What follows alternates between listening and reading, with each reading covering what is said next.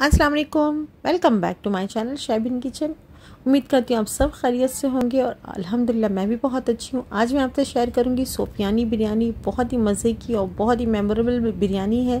तो रेसिपी को स्टार्ट करने से पहले आपसे रिक्वेस्ट है कि अगर आपने अभी तक मेरा चैनल सब्सक्राइब नहीं किया तो प्लीज़ सब्सक्राइब कर लें और बेल आइकन को ज़रूर हिट करें। तो चलिए स्टार्ट करते हैं।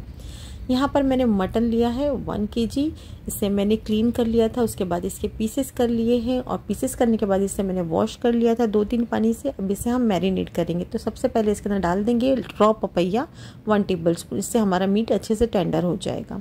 उसके बाद यहाँ पर मैंने लिया है ग्रीन चिली और हरा धनिया का पेस्ट इसको मैंने ग्राइंड कर लिया था। ग्राइंड करने के बाद इसे मैंने दो टेबल स्पून डाला है। आप कम ज़्यादा कर सकते हैं। ज़ीरा पाउडर है, ये रोस्ट किया हुआ है वन टीस्पून उसके बाद हम इसके अंदर डाल देंगे white pepper one teaspoon white pepper से जो टेस्ट है, बहुत ज़बरदस्त आता है।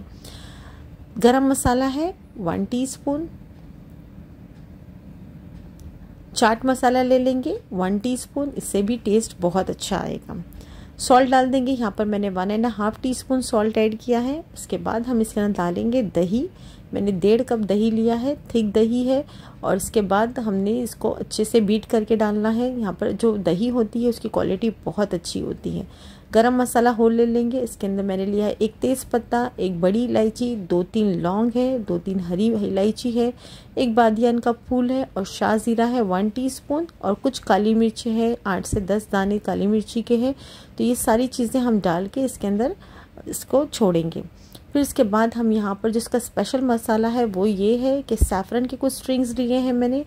जायफल है और जवित्री है, ये वन फोर्थ टीस्पून मैंने लिया है, वो डाल देंगे। ज़्यादा आप मत डालिएगा क्योंकि इसका फ्लेवर जो है बहुत स्ट्रॉन्ग होता है।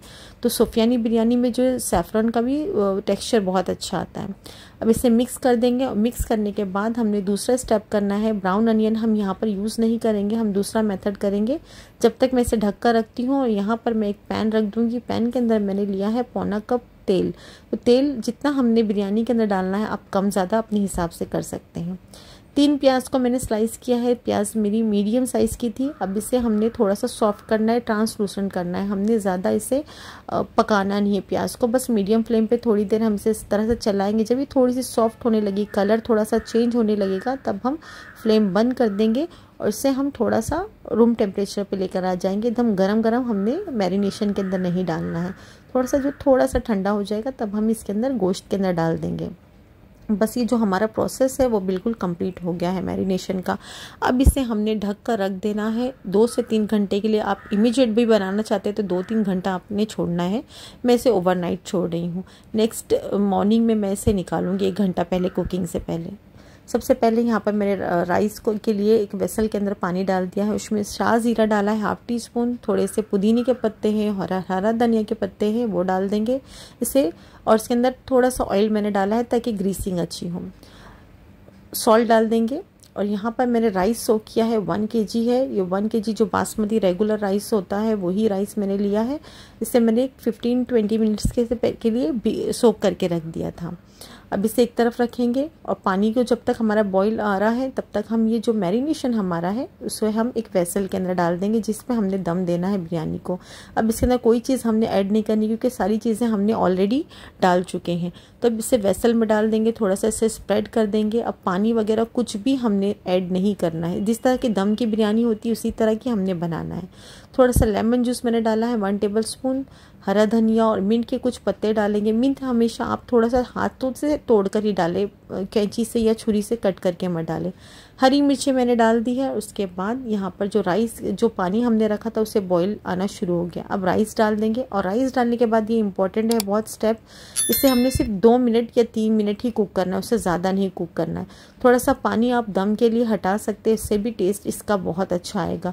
थोड़ा सा पानी मैंने हटा लिया है, अब इसे हम दो से तीन मिनट बॉयल आने के बाद ये जब कच्चा ही रहेगा, तभी हमने गोश्त के अंदर डाल लेंगे।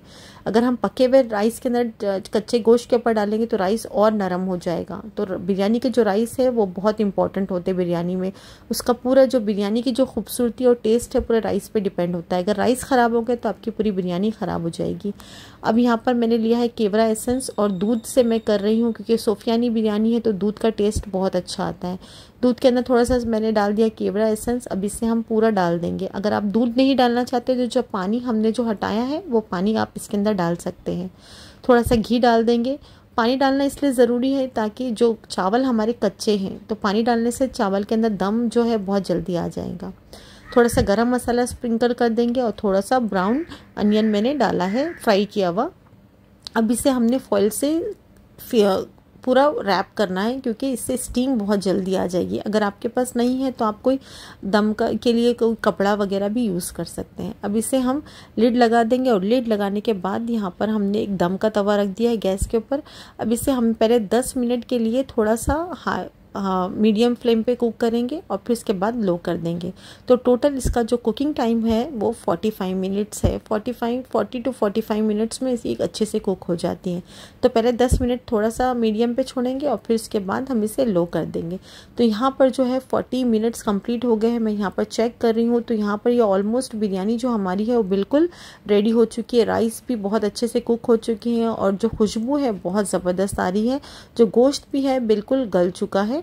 अब हम इसे डिश आउट कर लेंगे। तो हमारी जो सोफियानी बिरयानी है वो बिल्कुल रेडी है, बहुत ही टेस्टी और मेमोरेबल बिरयानी आप इसे बार बार बनाकर खाएँगे, इतनी टेस्टी बिरयानी और बहुत ही क्विक बनने वाली है। तो होप आपने इन्जॉय किया होगा इस रेसिपी को तो प्लीज़ लाइक एंड शेयर कीजिएगा। अगर आप मेरे चैनल पर नए हैं तो सब्सक्राइब करना प्लीज़ मत भूलिएगा। अपना और अपनी फैमिली का ख्याल रखिएगा। फिर मुलाकात होगी। टिल देन अल्लाह हाफिज़।